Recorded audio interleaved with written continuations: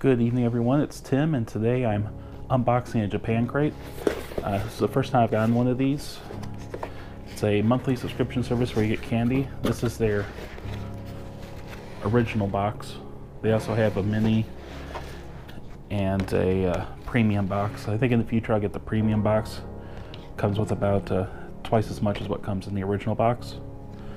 Uh, came with this little card. Tells me everything that's in there. All three different boxes. Looks like it might have three or four different types of bubble gum.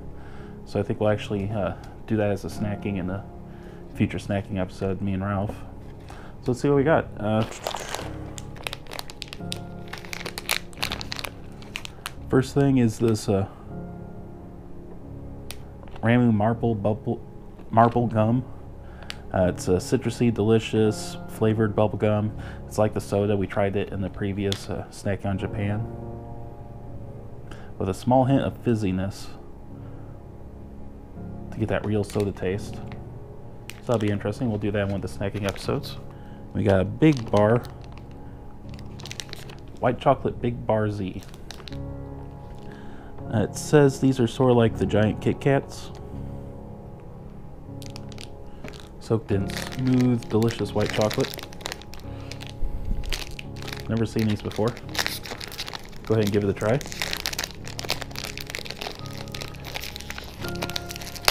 Hmm. Looks like a churro. You know what those are? Looks just like a churro.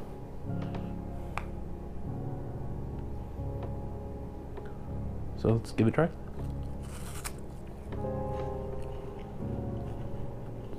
Hmm.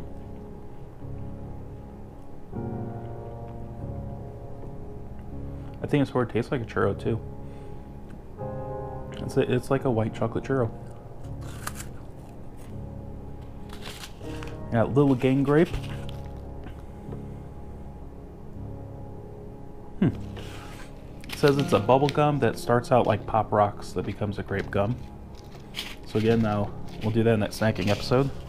And you got this one called a red portion, black portion.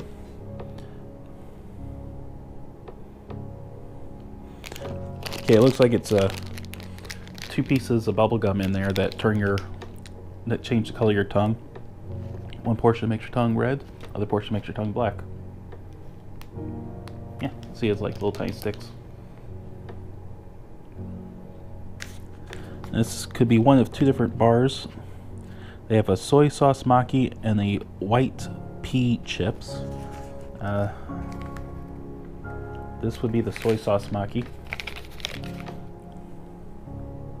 So it says it's wrapped in edible rice paper. Let's go ahead and give it a try, see how it tastes.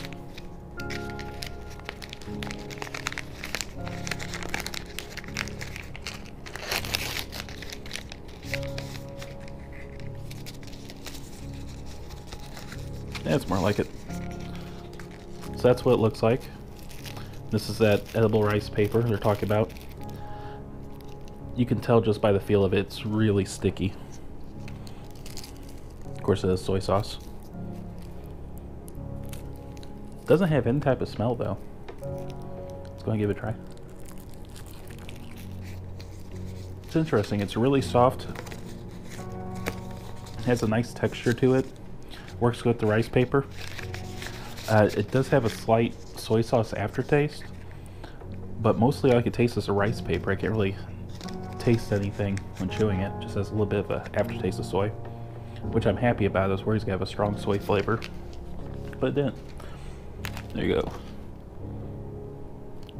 A Choco Kaneko Maki DIY kit.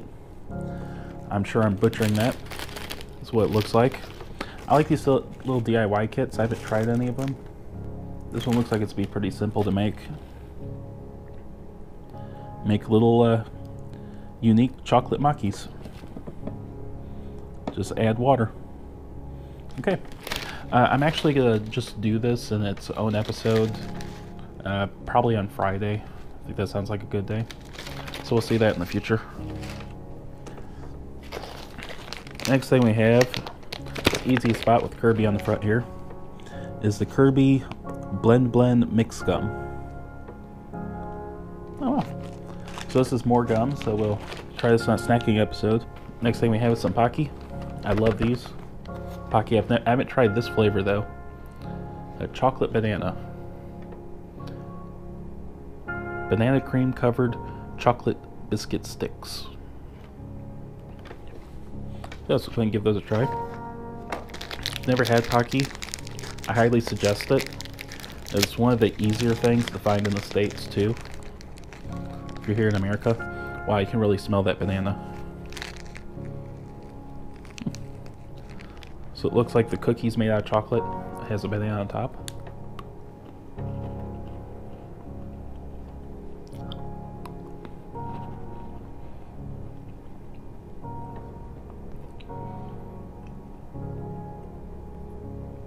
It's a pretty strong artificial banana flavor, uh, but works real good with the chocolate biscuit. The next thing we have is Talking Puppy Chocolate. Little puppy dog on the outside there.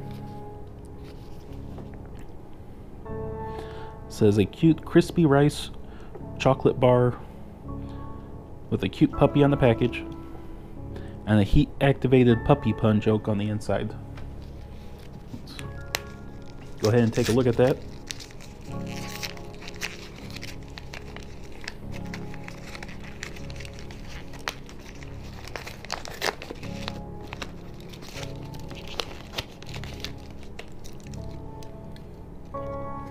So that's the card they're talking about. My sister loves dogs, so I'll probably have to give this to her. It's a Norwich Terrier. We'll give the chocolate a try first.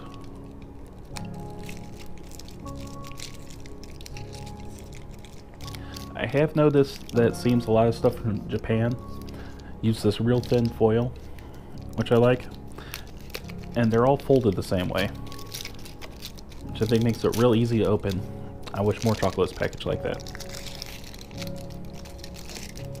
Hey. That's what it looks like. See a little Rice Crisp in the back there. It tastes like a dark chocolate Nestle Crunch bar. Which I like dark chocolate. So I like it. Been really happy with all the stuff I got. So now let's see this doggy pun here. Of course the problem is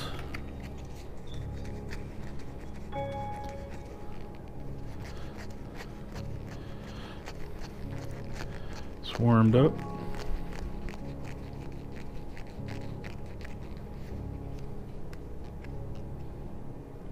I get read Japanese, so I don't know if you can read it.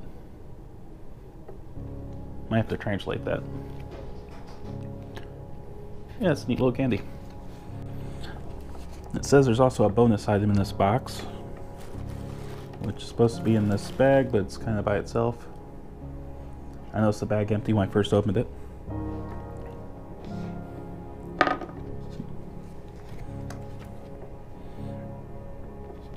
There's 1 of 10 Totoro figures from uh, the My Neighbor Totoro uh, anime series. Don't know the name of this one. Yeah, that's a nice little extra. Now if I had the premium box, it would have a soda with it. Also have a Magic Bubble Jelly DIY kit. Happy Pog Gummy.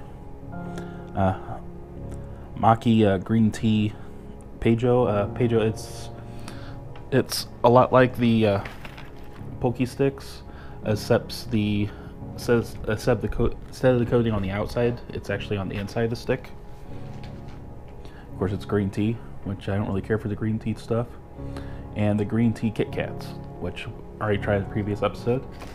So I'm actually kind of happy I didn't get the premium box on this one although I'm looking forward to it next next uh, month. Right. Have a wonderful night. See you tomorrow. Bye.